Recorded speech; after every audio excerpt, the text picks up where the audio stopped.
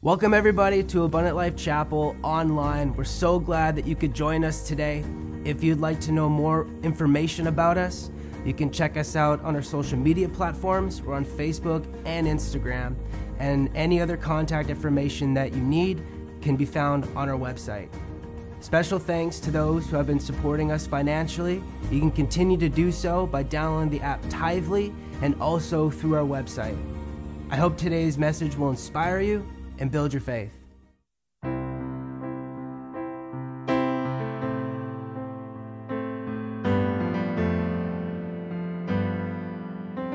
My hope is built on nothing less than Jesus' blood and righteousness. I dare not trust the sweetest frame,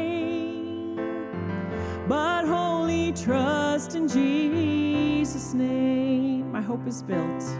My hope is built on nothing less than Jesus' blood and righteousness.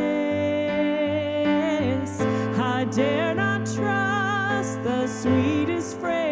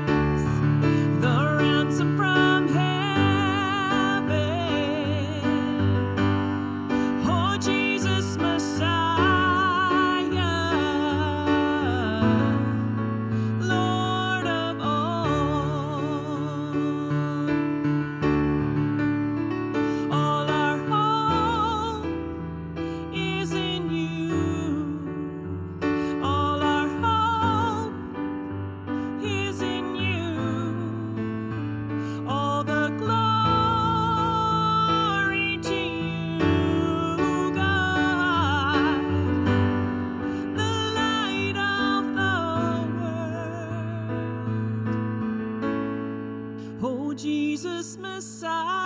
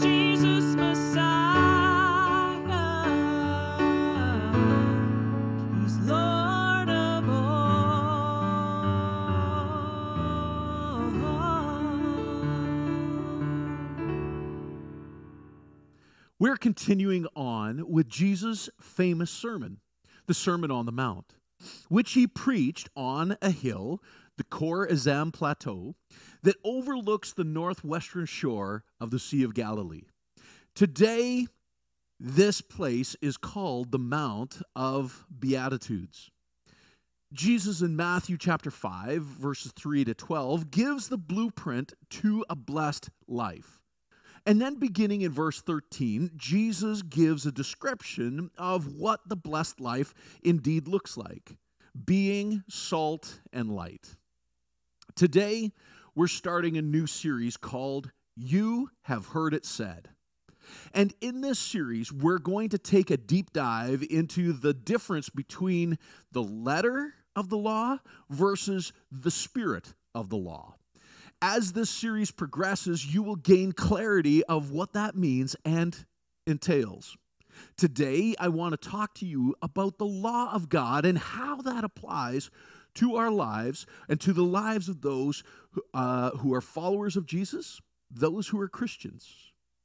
First, let's take a look at what Jesus said in Matthew chapter 5, verses 17 to 20. Here's what it says Do not think that I have come to abolish the law or the prophets. I have not come to abolish them, but to fulfill them. For truly I tell you, until heaven and earth disappear, not the smallest letter, not the least stroke of a pen will be will by any means disappear from the law until everything is accomplished. Therefore, anyone who sets aside one of the least of these commands and teaches others accordingly will be called the least in the kingdom of heaven. But whoever practices and teaches these commands will be called great in the kingdom of heaven.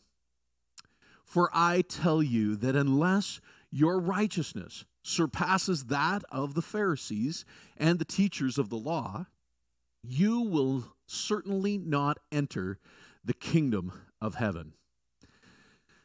In order to process what is written here, we need an understanding of the original purpose of God's law. God's moral and ceremonial laws were given to assist humanity in loving God with all their heart, all their soul, and all their mind. Uh, and then throughout Israel's history, however, these laws had uh, often been misquoted and, and misapplied. By the time Jesus arrived on planet Earth, religious leaders had turned these laws into a confusing mass of, of rules do's and don'ts, if you will. So when Jesus talked about a new way to understand God's law, he was actually trying to bring people back to its original purpose. Theologian Joseph Pipa says the Ten Commandments, God's law, have three main purposes to show people their need of the Savior, to function as a restraint in society, and to direct the believer in his behavior. Jesus did not speak against the law itself, but against the abuses and the excesses to which it had been subjected to. In the Old Testament, there are three categories of law. The three categories are this ceremonial, civil, and moral. Let's, let's first look at the, the ceremonial law. This is related specifically to Israel's worship to God. For example, look in uh, Leviticus chapter 1, verses 2 to 3. It says, Speak to the Israelites and say to them, when any when anyone among you brings an offering to the Lord, bring as your offering an animal from either the herd or the flock. If the herd, or if the offering is a burnt offering from the herd, you are to offer a male without defect. You must present it at the entrance to the tent of meeting so that it will be acceptable to the Lord. See, in order to atone for sins, animal sacrifices had to be made back in the Old Testament. Blood had to be spilt. As I quoted Pastor Marvin Voida in our Blessed series, sin always kills something. These sacrifices required in the Old Testament was to point forward to Jesus, death on the cross, and, and his resurrection from the grave. He was the eternal sacrifice for all humanity. He was the perfect, spotless, innocent Lamb of God. Listen to what it says in Romans chapter 6 verse 23. It says for the wages of sin is death, but the gift of God is eternal life in Christ Jesus our Lord.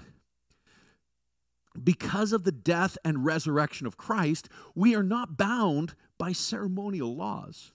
Since the church is not the nation of Israel, memorial festivals such as the Feast of Weeks and, and Passover do not apply to us Gentile Christians.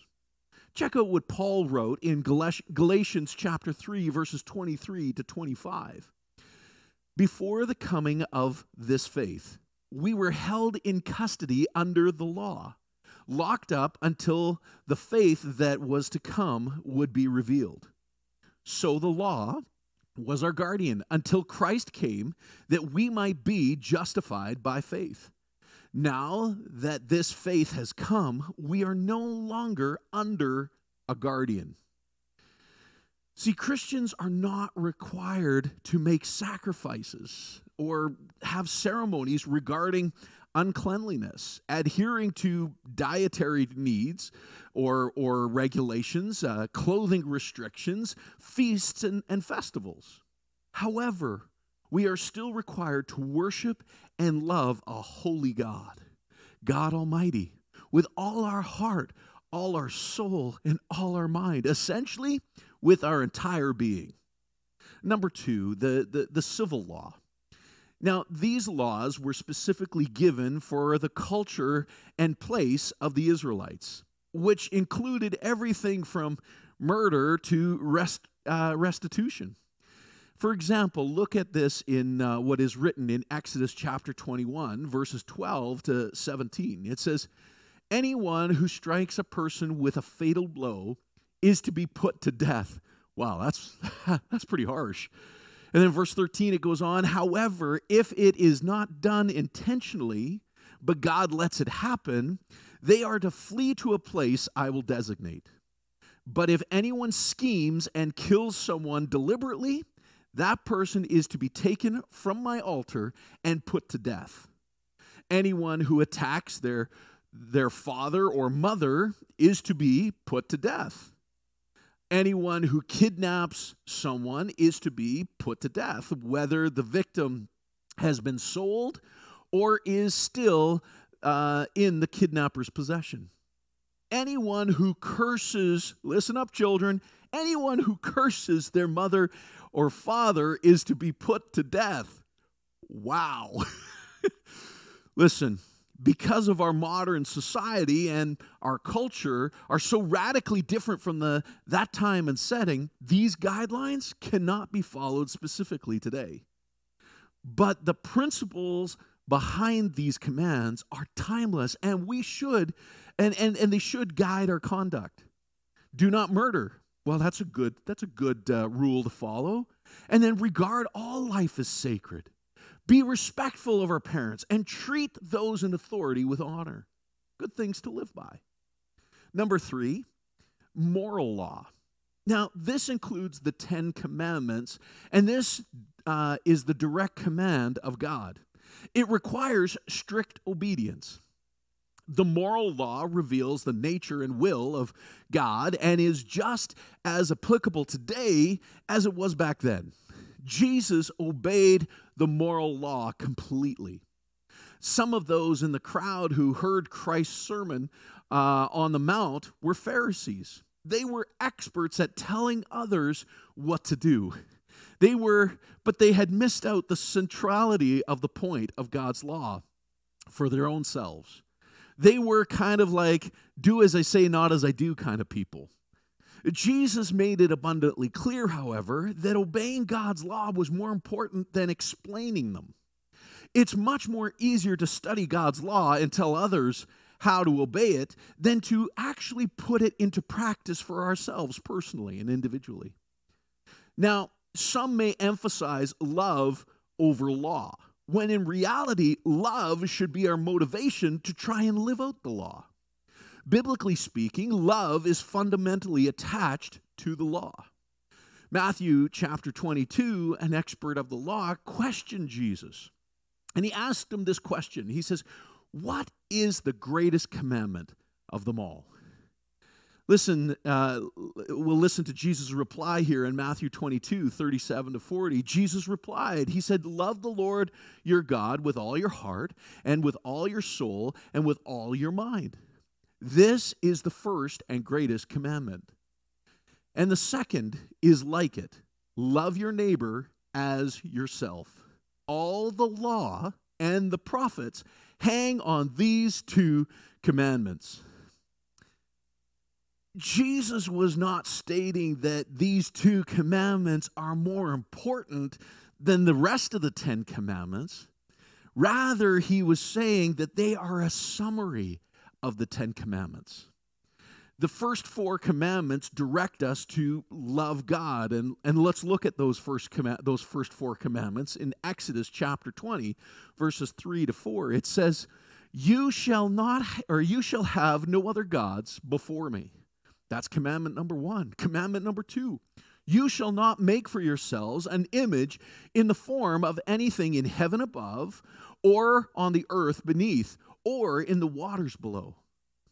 Command number three is you shall not misuse the name of the Lord your God, for the Lord will not hold anyone guiltless who misuses his name. Remember the Sabbath. This is the number. This is the fourth command.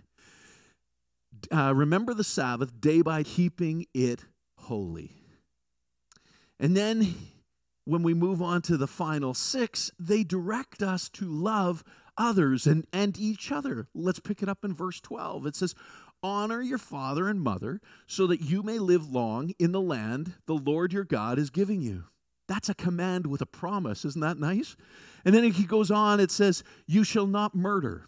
You shall not commit adultery. You shall not steal. You shall not give false testimony against your neighbor.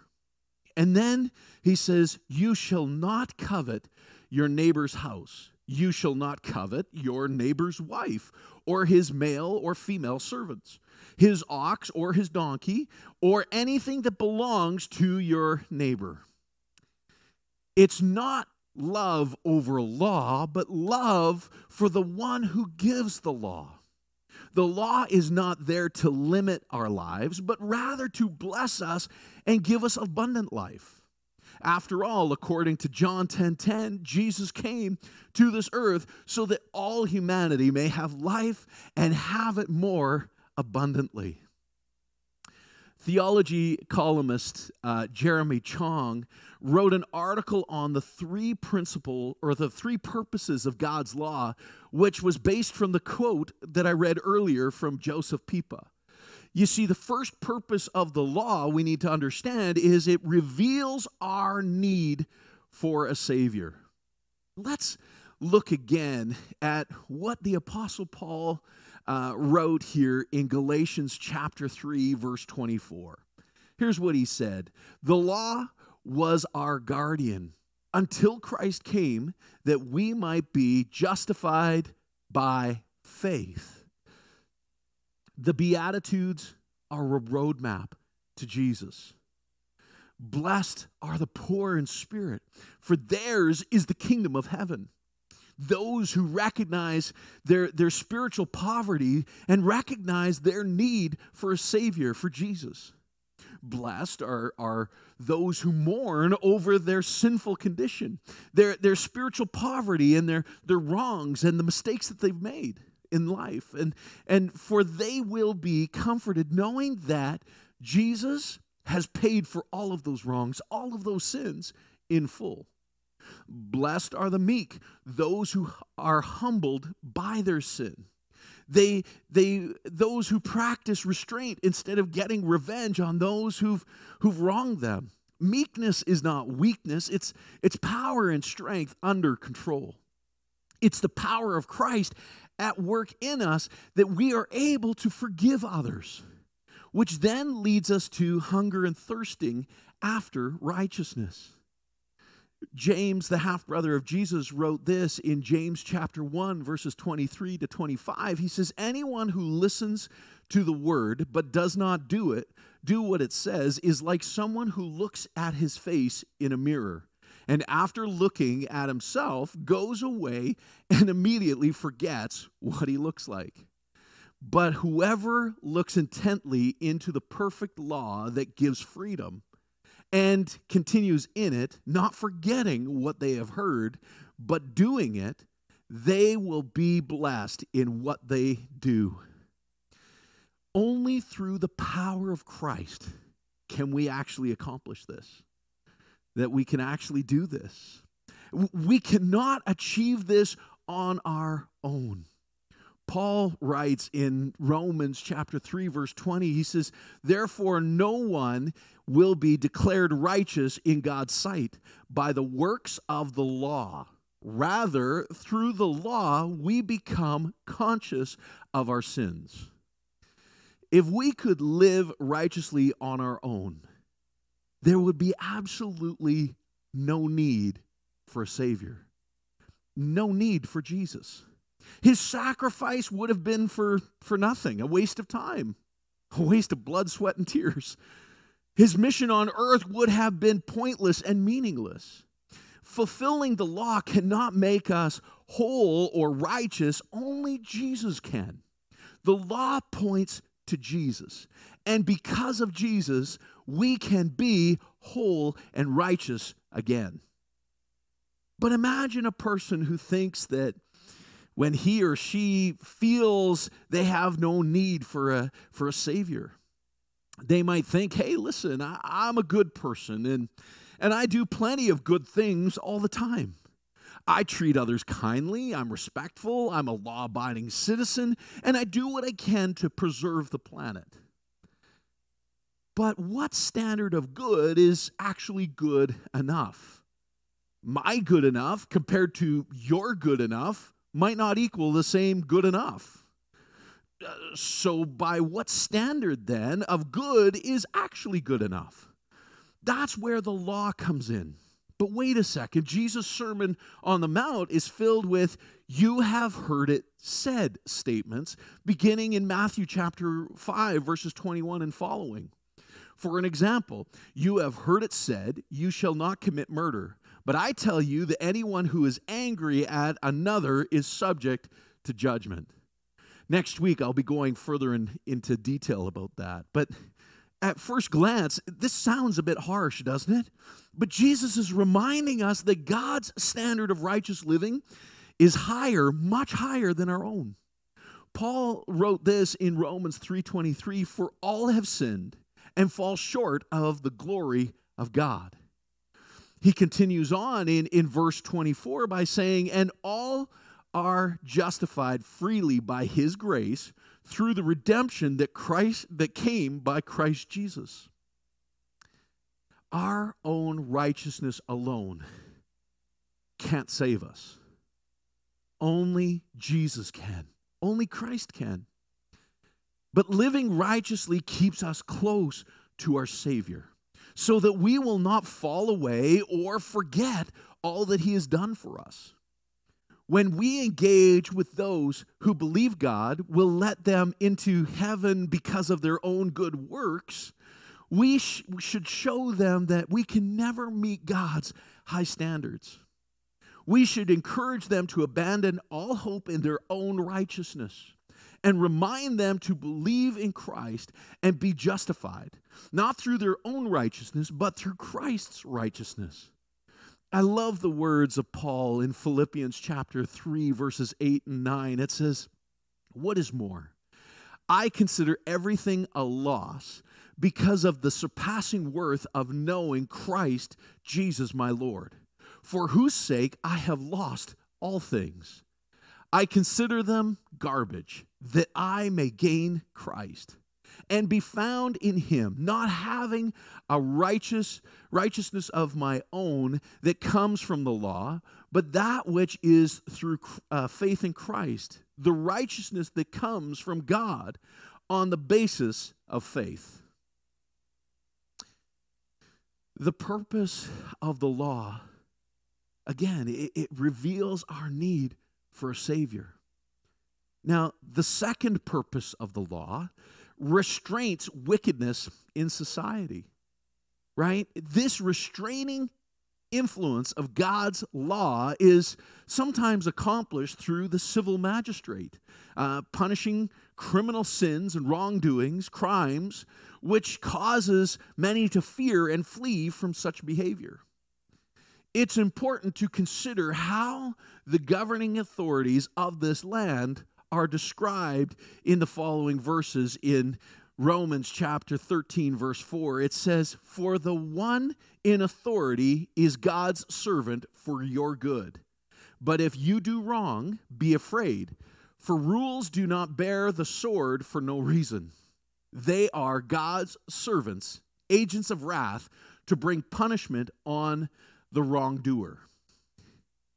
Now, listen, the question is here is, but what standard of good is Paul referring to here? Humanity's ever changing subjective moral opinions? Is that what he's referring to? Should we be happy with our pluralistic society uh, who makes laws based on what's right in our own eyes rather than what's right in God's sight? God's moral law is a standard of morality that we should all try to live by. Founding president of Wheaton College, Jonathan Blanchard, said, Society is perfect where, or society is perfect where what is right in theory exists in fact, where practice coincides with principle. And the law of God is the law of the land. The purpose of the law reveals our need for a Savior and restrains wickedness in society. The third purpose of the law is that it guides us on how to live. You see, not only does God save us from the penalty of our lawlessness, but He frees us to be able to obey His commands, though we are imperfect in following them. See, Paul writes in Philippians chapter 2, verse 13, he says, For it is God who works in you to do, uh, to will, and to act in order to fulfill his good purpose. We can please our Heavenly Father, but not in a sense of paying for our sins or trying to earn our own salvation or making him love us more, earning his love, but rather in a sense of pleasing him as we would please our earthly parents. See, God doesn't hold a big gavel ready to slam it down whenever we mess up or make a mistake. He's not looking at our lives through a careful, careful microscope, making sure that every step is, is totally correct, right? But we are still to have a holy and reverent fear for God. He's not our buddy, right? He's not buddy God that we can just go high five and fist pump. No, He is a holy God that we are still supposed to have holy fear and reverence towards. But we should not live in fear or terror of breaking a single commandment. As his dearly loved children, we share the same passion for righteousness as the same displeasure for sin. There's a difference between a child who obeys out of fear and a child who obeys because they feel loved. Romans 8, 3 to 5 says, The law of Moses was unable to save us because of the weakness of our sinful nature. So God did what the law could not do. He sent his one son in the body or in a body like the bodies we sinners have. And in that body, God declared an end to sin's control over us by giving us, uh, giving his son as a sacrifice for our sins. He did this so that the just requirement of the law would be fully satisfied for us, who no longer follow our sinful nature, but instead follow the Spirit. Those who are dominated by the sinful nature think about sinful things. But those who are controlled by the Holy Spirit think about things that please the Spirit. God's law, which is perfect, is to reveal the sin in our lives. It was never meant to save us, but rather, in fact, to condemn us, to show us how good we really aren't. The purpose of the law was meant to point us to Jesus and to hunger and thirst for righteous living. The law is to help us draw near to God so that we may love Him with all of our heart, all of our soul, and all of our mind with our entire being. Let's pray. Father, I pray today that this complicated topic about the law Father, will that today's message will bring some clarity. Lord, it doesn't mean that because you sent your son Jesus that we can just go and do whatever we want. No. What it means now is that we can, for once, live righteously. So, Father, let us not look at the rules, uh, uh, the, the, law as rules and, and regulations of do's and don'ts, but Lord, let us look at it rather as a way to live life and to have a blessed life, a life of purpose, a life that is abundant. So, God, I thank you today. I thank you for your word and I thank you for its truth. Father, I pray that as we are law abiding citizens of our land, let us be law abiding citizens of heaven as well. We thank you, Lord, for all that you've done. You did what we could not do for ourselves. You fulfilled the law because we possibly couldn't. There was no way we could. And we are thankful for that. So we give you praise and glory in Jesus' holy name. Amen. Amen. We're going to we're going to just take some time right now to prepare our hearts for communion.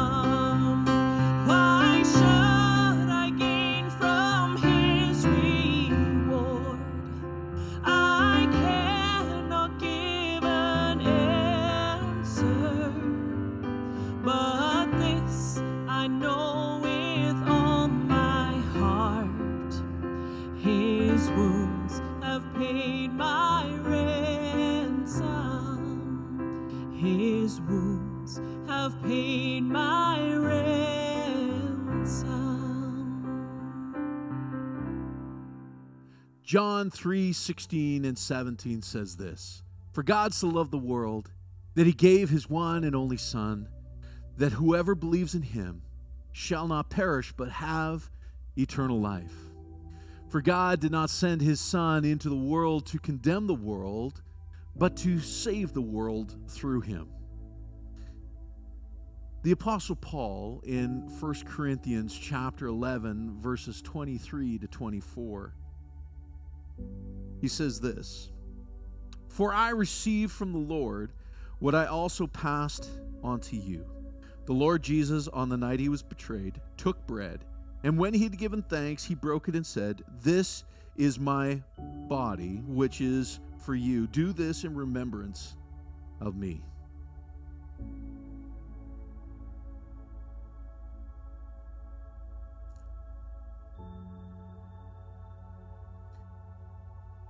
This wafer represents Christ's body that was broken for us. Let us partake of it together this morning.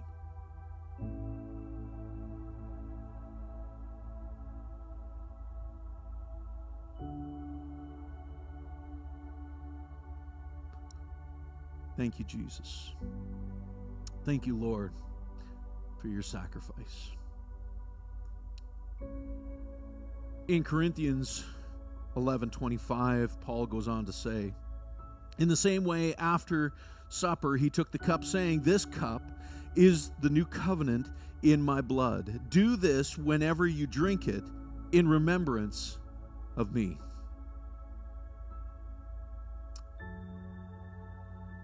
The contents of this cup represents the blood sacrifice that Christ made for our sin. But it also represents a new covenant that is made between God and his people. Those who have been who have made Christ Jesus the Lord and the saviors of their life, choosing to live for him by obeying what he says in scripture. Jesus offers us a new bloodline, a bloodline that isn't tainted by sin and death, but rather gives us new life. A royal bloodline that is directly connected with God, our Heavenly Father. A bloodline that will never die and goes beyond all time and space. That's the new covenant that God offers us through His Son, Jesus Christ. Let us partake of the cup together, shall we?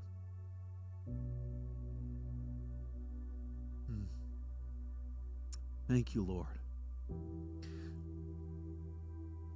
Paul continues on in his teaching in 1 Corinthians 11. And he says this in 26. He says, For whenever you eat this bread and drink this cup, you proclaim the Lord's death until he comes.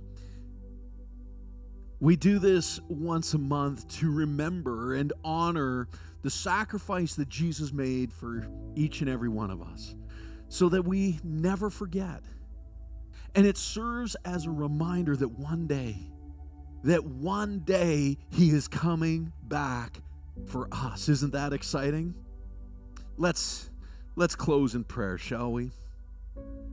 Heavenly Father, we thank you today. We thank you for Jesus. We thank you, Jesus, that you fulfilled the law, that you did what we could not. You paid a debt you did not owe because we owed a debt we could not pay, and we are eternally thankful.